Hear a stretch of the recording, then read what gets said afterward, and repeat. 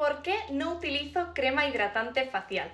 Pues así como la piel del cuerpo se seca con facilidad y si necesita un aporte de hidratación externo, la piel de la cara es capaz de retener agua y mantenerse hidratada sola. Por eso debemos centrarnos en reforzar esa función barrera para que la piel no se deshidrate.